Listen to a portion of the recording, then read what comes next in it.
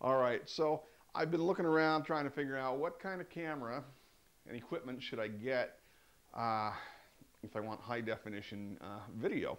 And there were several options out there. Uh, I looked at some point and shoot cameras. Uh, one in particular was the Canon ELPH camera. Very, very good camera. Uh, does a, it's a good bang for the buck. It does really good high definition video. And this camera is just a point and shoot, something that you would ordinarily just take still pictured with, but it does really good video as well. Um, a couple things about the, the ELPH that I didn't like was that I couldn't see a way to easily connect AC power to it. Um, there probably is a way to do that. It, there's probably some adapters you'd have to buy. Maybe it runs off of a USB to AC adapter. I don't know. But I was hoping to find something that came with an AC power pack so I didn't have to worry about that. Sometimes it takes a little while to set things up, get the camera shot just right and, you know, effects and whatever. And, uh, you know, if your camera's running on battery power, but it's going to take you a while to configure everything, well, there goes your battery.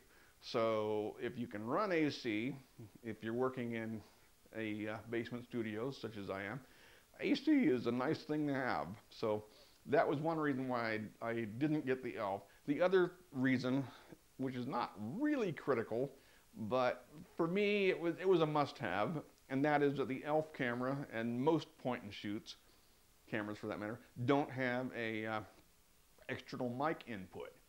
And uh, I've got to have that. I just have to have an external mic input. Um, the workaround for that, if you uh, want to save money and pick up some an ELPH camera, um, you can still get around the uh, built-in audio problem by getting an external audio recorder and then you just sync the picture and sound together um, during post. But to make things easier, um, you know, I like having the audio on on camera with, with the video. It, it's one, one less thing to have to worry about. And I like the fact that with the mic input, I can uh, plug my mixer into them and, uh, you know, really have some nice sound. And you really can't do that with uh, the point and shoots. So the one I ended up buying was the uh, Vixia HF-R 600. Now this is really the same camera as the HF-R 400 and uh, 500. It just has some additional features. Uh, but really the, the camera is about the same. Uh, so this one sold on, at uh, Best Buy for 299 and considering what it does I think it's a pretty decent price. Also uh, when I bought this they threw in uh, a uh, 32 gig memory card that came with it. Ordinarily it would not, so that was a pretty good pretty good deal. I think these memory cards, 32 gig, I think they run, oh, I don't know, 30, 40 bucks maybe. So having that included, that was that was pretty good. So there's a thousand, if not more, unboxing videos for the Canon products and uh, for this particular camera. So I don't know what I could really say about this that hasn't already been said, but I'll try. Okay, let's go ahead and unbox this. Um, of course, this comes with, it probably is important that you register just in case anything should happen to your product. It's easier to have it um, repaired, um, even though it probably is a marketing gimmick. I'm not going to kid you. It's probably a marketing gimmick, so they have your contact information and can send you all kinds of stuff. But nonetheless, register it. Yeah, do it. This came with, uh, this is also a registration certificate, and I believe this was actually supposed to have been uh, filled out by the salespeople. Of course, they didn't. but I'll go ahead and fill it out. Probably just hang on to it for my records. Um, I guess that's what you're supposed to do. I don't know. There's um, a brochure that talks about um, transfer utility limited edition. And I looked through this and What that is, it's um, software that you download from the internet, uh, which is supposed to assist you with importing the video footage from your camera into your PC. Also came with uh, a couple of brochures. I think we're zoomed in a little too well here. But anyway, uh, these brochures are pretty much all the same thing, just different languages. And what this is, if I can find the, yeah, what this is, it's just a, a getting started guide. It's not a detailed manual. Um, right here you can see that, you know, different steps, step one, step two, and so on. Just very basic as to how to get get yourself up and running with with the camera. But if you really want to know about this camera, of course, use it. Hands-on, nothing beats that. But uh, you can download the manual uh, online and what I'll probably do is actually print it out and then read it, you know, read it at bedtime, something to do. I do that a lot. I'll, I'll get owner's manuals and just read them before I, before I fall asleep. So next to my bed, you'll find a, a stack of, of manuals and whatever, but that's just, that's just me. All right, so here we have this really pretty beautiful red covering. Hmm. Okay, so in here, this is kind of nice. They include um, an HDMI cable. Uh, now, the camera has a mini HDMI. That's what um, this guy is. You'll see that that's a little bit smaller in size. So a mini HDMI to standard size HDMI. So this cable is used if you want to plug the camcorder into your flat screen, your plasma TV. Um, so that's nice. Now, if you are still running um, an older video monitor that uses RCA inputs, um, you can purchase an adapter such as this guy right here. Uh, this looks like a headphone plug and then on the other end it breaks out into uh, yellow for video and then left and right audio. So you could plug this into um, a television monitor or even a VCR for that matter uh, that, that, took these kind of uh, connections. So that's one thing I like about the camera. It's too bad the camera didn't have these types of jacks on the camera itself, but I can understand why they went with this type of output to make the camera smaller. Um, but anyway, this does not come with the camera. You would want to order this separate. I just had one of these laying around that came with uh, a DVD player, and it works fine. So anyway, if you want to hook it up that way, you can. Uh, all right.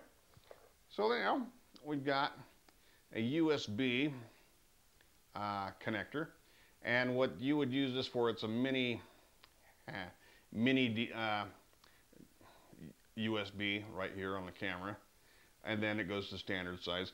You would use this to plug the camera into your computer so that you can uh, offload the um, video files into your computer. You can do it, you can do it that way or you can remove the uh, memory card from the camera and then plug the memory card into a card reader if your computer has such a thing.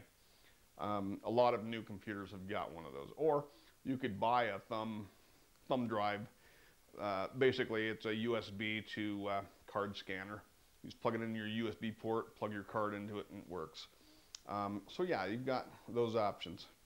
Uh, it comes with the power supply. Uh, here we go.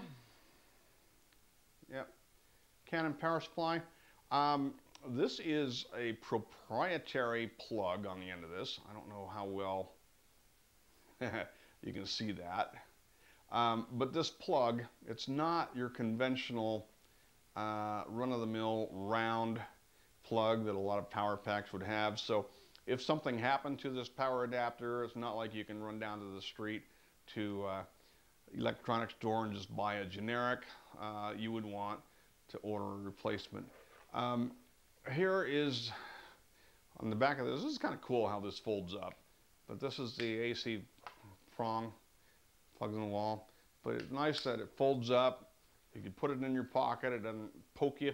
put it in your suitcase. It just folds up, makes it easy to uh, and compact. So there you go. So remember I was telling you I was looking for a camera that I could run off of AC power. And this will do it. Uh, this is also used to charge the camera battery. Um, you can't plug a battery directly into the um, power pack. The battery has to stay on the camera and then you just plug this into the camera. There probably are some other chargers out there that will do that. Um, I just have to look around. But anyway, yeah, there's my AC power, so that's pretty nice. All right. Oh, yes. Here is the camera battery. Now, this is just um, a tiny little thing. I mean, look how, look how small this is. It's just really tiny. I just happen to have a measuring tape here. So look at this. Um, my camera's having a hard time focusing. I apologize. But yeah, look at that. I mean that that's just it's tiny. so and you know on TV everything looks bigger, um, but the reality is that, that that's how that's the size of it. It's like two inches by one inch, a little teeny tiny battery that just you know fits in your hand.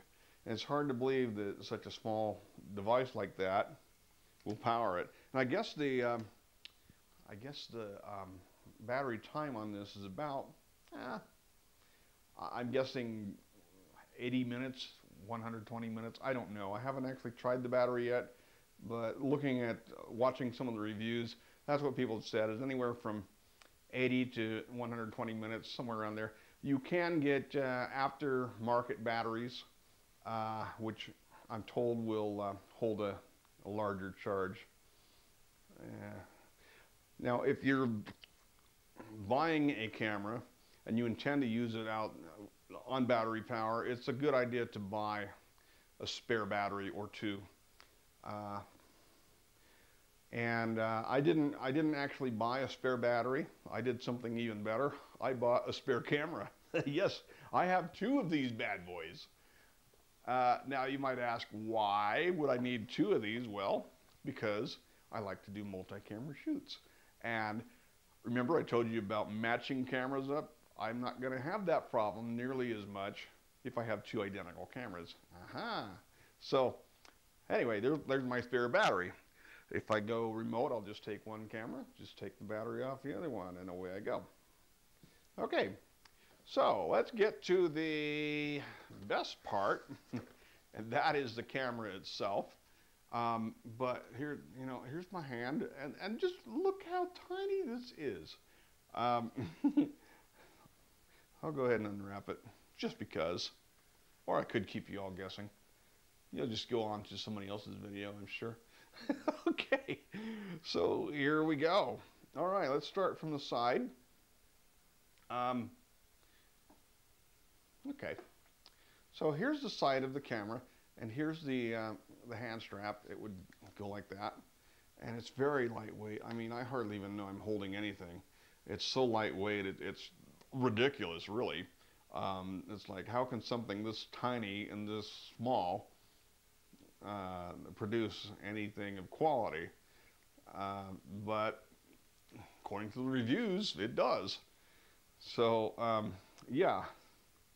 Okay, so uh, this, this hand strap is adjustable, which is good because I've got large hands. I probably will want to adjust that.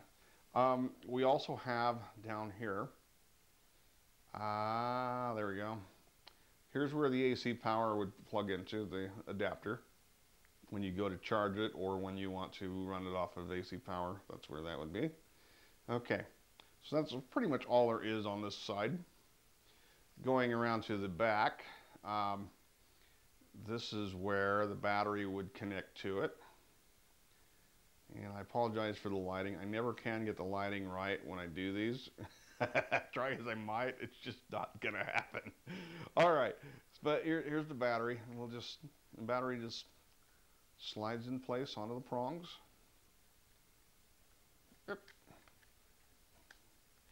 And clicks into place somehow. It does. I assure you, it does. So, there we go. Click. Okay, some people have um, voiced concern about uh, where the battery is, the location of the battery. And if you look at this, it does look kind of strange how the battery just kind of, it's like the battery was almost like a, there we go. The battery was almost like an afterthought on the design of this. Um, mm-hmm. Where are we? There we go. But yeah, there's the, uh, but the battery is so lightweight. People people have uh, voiced concern that the battery could just fall off of there potentially, but it's pretty stiff. I mean, it would take a lot of jolting to get that to come off on its own. Um, the battery is held in place. There's a little lever, little uh, switch that you can slide, and that will release the battery. It just locks in place. Also on the bottom of the camera is your standard uh, tripod mount, uh, which is a must-have. Okay, on the back, besides the uh, battery, you have the uh, record button, and you just use your uh, your thumb. So, you know, your hand goes in there and your thumb. Some people um, may have a complaint about, you know, if they got a large hand, I could see where the battery might might be a little awkward. I think a better place would have been right smack on the back center, but nonetheless, that's where they decided to put it. So it's not necessarily pause, it just stop, hit it again, starts recording, but records a new file. Um, so that's it for the, the uh, side, the bottom. Now, here's the uh, fancy smancy area. This right here is uh, the pull-out um, touchscreen. Just comes with some little fancy stickers that tells you what some of the features are. Obviously, it's HD. Uh, okay, so if we open this up, hey, we do have some power. Hmm, there we go. So there's our uh, touchscreen. Now I'm not going to go into everything about the touchscreen on this video. There are some other ones out there uh, on YouTube already that are really good, very descriptive.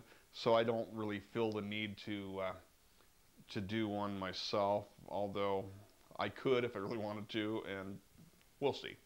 But not not in this video. Okay, but anyway, the touchscreen pulls out, and um, one thing. Here goes my autofocus. Gotta love autofocus.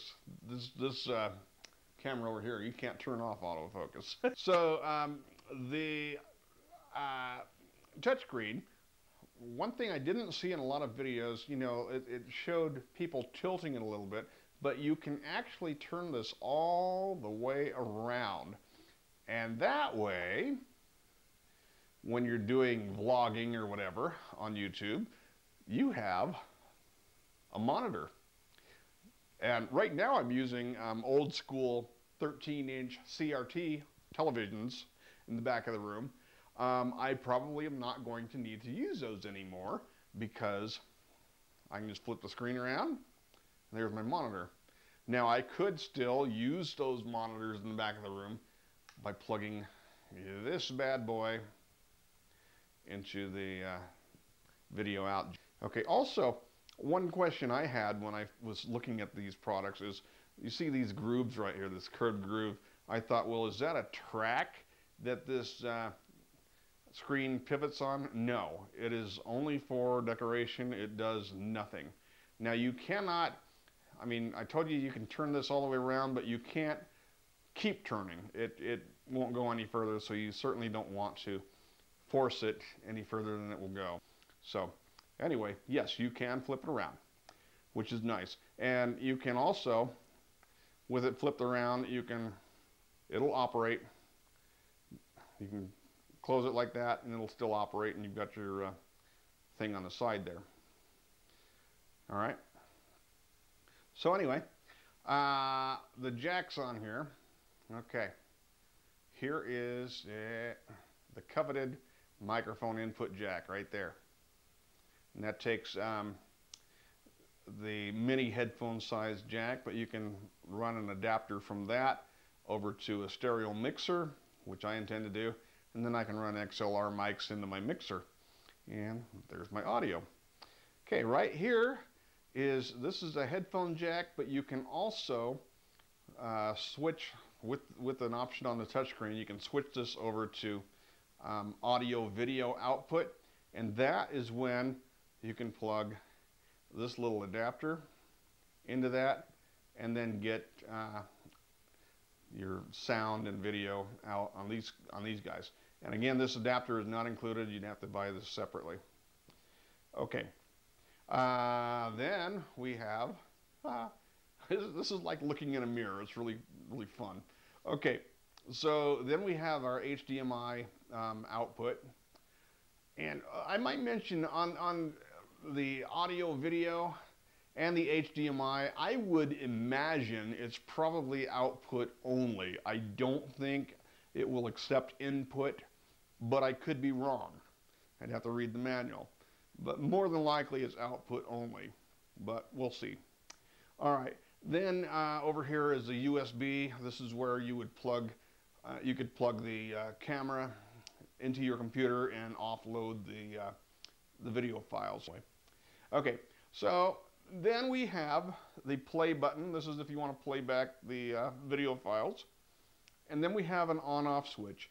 Now the weird, the weird thing about this camera is when you open the um, the door here, when you when you open the um, touchscreen, it will automatically turn the camera on. All right, but with the touchscreen open, you can turn it off with uh, the power button. There's also a menu option in here you can set where it does not turn on and off with the opening of uh, the uh, touchscreen. So there are some options. Over here we have the um, memory slot. There's a little door that you would slide and then you plug the card in. Uh, the card goes in kind of at an angle, which is different, but okay. Okay. But anyway, that's uh, where the where the lens is. It's just my finger moving around, but the, the lens itself, I guess, doesn't rotate. Okay. But um, anyhow, lenses up here. Then going further down, we have, I don't know what this little slot is right here. Um, some people thought it was the mic input. I don't think so because the mic in the mics, the built-in mics are below the lens in the front. So I don't know what that does. Now here's the zoom option. You can slide it back and forth for wide and telephoto. Um, one thing I like about it is that um, it's variable speed depending on how far you slide that in either direction, which is nice. I've got some cameras where it's fixed speed, but uh, having variable is nice. Okay, so that's the, uh, the top part of the camera. Here's the front, and the microphone are right here. I'm guessing it's stereo because it does mention somewhere on it that it says Dolby, so I'm guessing it's built in stereo mics, which is nice. I don't know if the uh, mic input is a stereo mic or if it's mono. I will find that out uh, when I actually use the camera. Um, so also this, this uh, camera's got a little uh, lens protector shutter thing that opens and closes. It won't open and close automatically. There's a um, little switch right here that you would need to slide with your finger. That opens it. So it won't, do, it won't open and shut automatically when you turn the camera on and off. Um, one thing that's kind of funny is um, if it's left closed and you turn the camera on, it will flash a warning. It not it, it a warning basically it's saying that it's too dark, and it will do that also if you're trying to video if you're trying to video in an environment that is too dark. So it's not really just the, uh, the lens shutter. Uh, but anyway, so that's kind of cool. All right, so that is pretty much it with the camera. So now I just get to uh, register it and uh, download the instruction manual, read that, and uh, charge up the batteries. And then I get to set up the cameras and uh, have some fun. So hopefully in the not too distant future, I'll have some uh, more videos on here, YouTube, where I've actually shot footage with uh, these cameras. And uh, it should look a whole lot better. All right, so that's it. Thank you very much for watching. I hope this has been informative and know, amusing as well. So take care, everyone, and I'll see you around. Bye.